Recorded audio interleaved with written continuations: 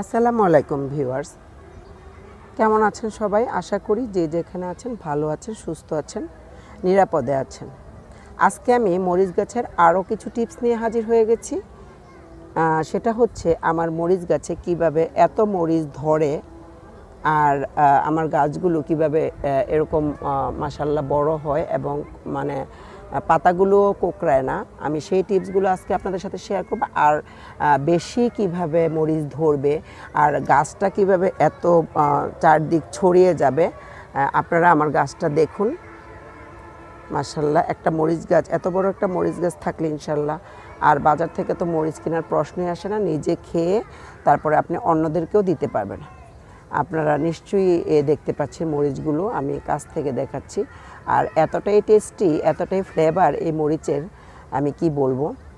তো এই মরিচগুলো কীভাবে আমি এত ঝোপানো করেছি, আর কীভাবে এত ডালপালা ছড়িয়েছে, আমি সেটা শেয়ার করব। আর মরিচ গাছ কাটিংটা আমি শেয়ার করব। আজকে আমি মরিচ গাছ কীভাবে কাটিং করি মানে ডালপালা ছেটে দেই, সেটা আমি আজকে শেয়ার করব। আর কোন ডালপালাগুলো আমি ছাড়বো আর কোনটা আমি রেখে দিব সেটা আমি শেয়ার করব। তা ভিউয়ার্স এই যে কাটার জন্য আমি একটা সিজার নিয়েছি আর এখানে দেখতে পাচ্ছেন, এই যে আমি মরিচ খেয়েছি জাস্ট মরিচের বোটাটা সহ আর ডালটা পড়ে আছে, আমি এটাকে কেটে দিব। এই যে এরকম ডালপালাগুলো আপনারা রাখবেন না, যেগুলো অপ্রয়োজনীয় আর যেগুলো থেকে আর আপনারা মরিচ পাবেন না। এই ডালপালাগুলো ছেটে দিবেন, তাহলে আপনাদের এইখান দিয়ে আবার নতুন ডালপালা বের হবে। এই যে এখানে আছে, এই যে আমি মরিচ যে উঠিয়েছি তার যে ডালটা পড়ে আছে, সেটা আমি কেটে দেব এভাবে। এর আগেও এরকম ভিডিও আমি অনেক করেছি। অনেকেই বলে মরিচ গাছের অনেক প্রবলেম, মরিচ গাছ হচ্ছে না, মরিচ ছোট ছোট হয়ে শুকিয়ে পড়ে যায়। সেই প্রবলেমের জন্য আমাকে অনেকে অনেকভাবে মেসেঞ্জারেও রিকোয়েস্ট করেছে ভিডিও দেওয়ার জন্য। তো সেটা করতে হলে আপনাকে অবশ্যই অবশ্যই অনেক কিছু খেয়াল করে তারপরে মরিচ গাছের যত্ন করতে হবে। অবশ্যই এগুলা আপনার মাথায় রাখতে হবে। এই যে এখানে মরিচ খেয়েছি, মরিচের এই মানে পুরনো ডালগুলো আমি একদম কেটে, ছেটে দিচ্ছি। এই যে এখানেও কিছু আছে দেখতে পাচ্ছেন, এই যে আমি মরিচ যে উঠিয়েছি সেই ডালগুলো আমি রাখব না। আর কিছু আছে যে ওগুলা একদমই মরিচ ধরার সম্ভাবনা নাই। আর পুরনো কিছু, নিচ থেকে কিছু ডাল কেটে দিব, তাহলে উপরেরগুলো অনেক ভালো হবে। এটা আপনারা খেয়াল করবেন। এর আগেও আমি বলেছি, আমার অনেক ভিডিওতে আছে। তারপরেও আমি আপনাদের সুবিধার্থে, আমি যারা আমার ওই ভিডিওগুলো দেখেননি, তাদের জন্য আমার এই ভিডিওগুলো আবারও করা। এই যে এগুলো, এই যে দেখেন এটা আমি আপনাদেরকে দেখাচ্ছি, এই যে এখানে কিন্তু মরিচ খেয়েছি, সেই বোটাগুলো শুকিয়ে যাচ্ছে। এখান থেকে কিন্তু আমি যদি এটা কেটে না দিই, তাহলে কিন্তু আর ডালপালা বের হবে না। তো সেই জন্য আমি এগুলো কেটে দিচ্ছি। আর কিছু পাতা আছে বড় বড় পাতা, এগুলো কিন্তু রাখার কোনো প্রয়োজন নাই।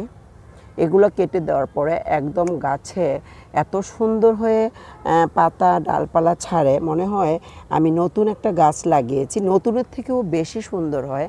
আমি এটা আমি নিজে আমি দেখেছি, আপনাদের সাথে তাই আমি শেয়ার করলাম। আপনারাও ট্রাই করতে পারেন। যখন আপনারা দেখবেন একটা মরিচ গাছ কুকড়িয়ে যাচ্ছে, পাতাগুলো নষ্ট হয়ে যাচ্ছে, তখনই আপনারা কি করবেন? গাছের গোড়াটা খেয়াল করবেন, বেশি ভেজা কিনা বা বেশি শুকনো কিনা, এটা অবশ্যই খেয়াল করবেন। আর যদি বেশি ভেজা থাকে বা বেশি শুকনো থাকে, অবশ্যই ভেজা থাকলে পানি দিয়ে দিবেন। আর বেশি শুকনো বেশি সরি বেশি শুকনো থাকলে পানি দিয়ে দিবেন। আর বেশি ভেজা থাকলে সেটা মাটিগুলোকে আলগা করে দিয়ে এটা গোড়াটা শুকানোর চেষ্টা করবেন। না হলে কিন্তু আপনার মরিচ গাছ একদম ওই দিনই ঢলে মরে যাবে। এটা আমি মানে নিজেও দেখেছি, আমার এরকম হয়েছে আগে। অনেকটাই বুঝতাম না মানে এরকম কেন হচ্ছে। তো আমি এটা একটু অনেকটা মানে নিজে নিজে গবেষণা করে দেখেছি যে এসব কারণে আসলে মরিচ গাছ হয়, নষ্ট হয়। আল্লাহ রহমতে এখন আর আমার আর গাছগুলো এরকম হয় না, আলহামদুলিল্লাহ। ইনশাল্লাহ মানে একদম ভালোই থাকে। আর আমি যখন মরিচ খাওয়া হয় তখন, যখন এই মরিচগুলো খাওয়া হবে তখন আমি একদম পুরো ডালপালাগুলো ছেটে দিব। সেটাও আমি আপনাদেরকে দেখাবো, আপনাদের সাথে শেয়ার করব, ইনশাল্লাহ। আল্লাহ যদি আমাকে বাঁচিয়ে রাখে।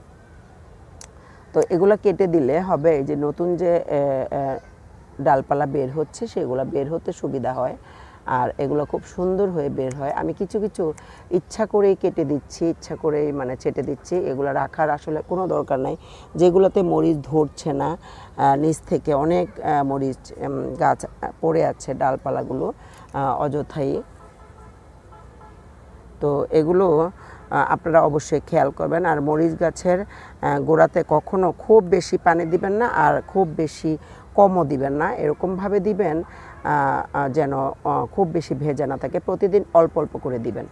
একদিনে বেশি দেওয়ার দরকার নাই। আর অবশ্যই মরিচ গাছের ডালপালা কিছুদিন পর পর ছেটে দিবেন। এটা আপনাদের অবশ্যই আমি বারবার বলছি যে আমি এরকম দেখেন, এটাতে কিন্তু তেমন কোনো কিছুই নাই। আমি এটা পুরোটাই কেটে দিব, এই যে। এই যে কেটে ফেলে দিয়েছি। আর ওখান থেকেও একটা আছে, এই যে এই যে আপনারা দেখে, দেখতে পাচ্ছেন, কেটে দিচ্ছি। তো এরকম আমি, এই যে এরকম কেটে দিলে ইনশাল্লাহ আমি দেখাবো নেক্সটে আমার এই গাছটা কেমন হয়েছে। এরকম আমার আরও একটা গাছ আছে, এই যেগুলো আমি সব, এই যে দেখেন, এরকম মানে এগুলোতে আর হবে না। এগুলোতে নতুন করে আমি যদি কেটে দেই, তাহলে নতুন করে আবারও বের হবে মরিচের ডালপালা। তো আমার একটা মরিচ গাছ আছে, এর আগে আমি আপনাদেরকে সাথে শেয়ার করেছিলাম, এরকম কালো মরিচের গাছই। তো ওগুলাকে ওই গাছটা কিন্তু মানে আমি এরকম ডালপালা গত বছর আমি মনে করেছিলাম যে এটা মরে যাবে, কিন্তু ডালপালা কেটে দেওয়ার পরে আলহামদুলিল্লাহ নতুন যেরকম ছিল, তার থেকে অনেক সুন্দর হয়েছে সেই মরিচ গাছটা। এখনও আমি সেই গাছ থেকে মরিচ খাচ্ছি এবং সবাইকে দিয়ে যাচ্ছি, আলহামদুলিল্লাহ। এই গাছটা কিন্তু আমি এবছর লাগিয়েছিলাম। মরিচের ভারে এই ডালটা একদম নুয়ে পড়ে আছে। আপনারা দেখেই বুঝতে পাচ্ছেন, এই যে বাঁকা হয়ে আছে। তো ওই মরিচ গাছ থেকে এখন আমি মরিচ খাচ্ছি। আর আমি যখন ছেটে দিয়েছিলাম, এত সুন্দর হয়েছিল মানে আমি কল্পনাই করতে পারি না আমার যে পুরনো গাছটা যেটা আমি উঠিয়ে অলরেডি উঠিয়ে মানে চিন্তা ভাবনা করেছিলাম যে উঠিয়ে ফেলে দিব। তো সেটাতে আমার এত মরিচ ধরেছিল। আলহামদুলিল্লাহ আগের থেকেও সুন্দর হয়েছিল। এখন আবার একটু মরিচ ধরার পরে আবার একটু ইয়ে হয়ে গেছে, আমি সেটাও আমি কেটে দিব এরকম। এই যে আমি আপনাদেরকে দেখাচ্ছি। এই যে এরকম যে ছোট ছোট মরিচ গাছের ডালপালা আছে, এগুলো আপনারা কেটে ফেলে দিবেন। এগুলো কিন্তু একদম অপ্রয়োজনীয়।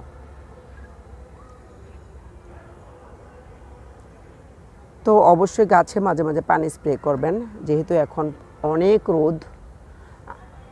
গাছের পাতাতে পানি স্প্রে করবেন আমি মাঝে মাঝেই করি, আর এত রোদে ছাদ বাগানে পানি স্প্রে না করলে কখনোই সম্ভব না গাছ বাঁচিয়ে রাখা।